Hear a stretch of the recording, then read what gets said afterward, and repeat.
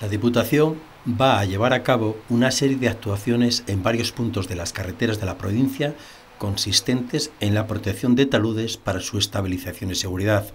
En total son 11 actuaciones que han sido seleccionadas en función de las necesidades más urgentes, cuyas obras están planificadas desde mediados del año pasado, pero serán posibles en este ejercicio una vez aprobados los presupuestos. Así lo explica el presidente de la Corporación Provincial, José Manuel Latre, durante su visita a Valdesotos.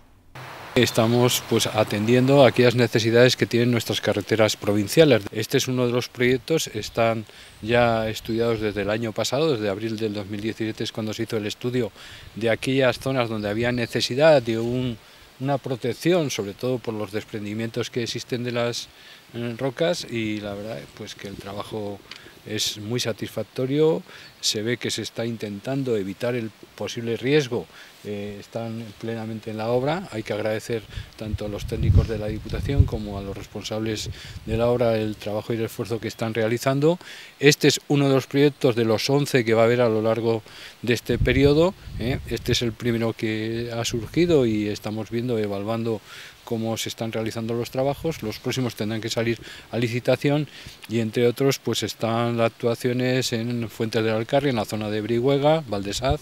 en la zona de Luzón, en la zona de Aragosa, en Caspueñas, en Ontova, eh, en Molina de Aragón, en el Río Gallo, en total son 11, el proyecto, esto supone un presupuesto cercano al medio millón de euros, lo que van a suponer las obras que van a ser para, por un lado, afianzar la seguridad de nuestras carreteras, proteger, lógicamente, como nos comentaba Irene, que a veces ha habido algún incidente que afortunadamente no ha pasado a mayores, pero que siempre es una prevención, un riesgo, porque estamos en una zona, en este caso la Sierra Norte, que con los hielos y deshielos pues produce que las rocas sufran esa, ese desprendimiento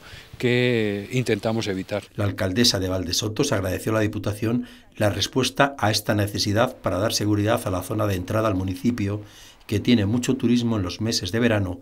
y el haber sido pioneros en este tipo de actuación que acomete la Diputación por vez primera.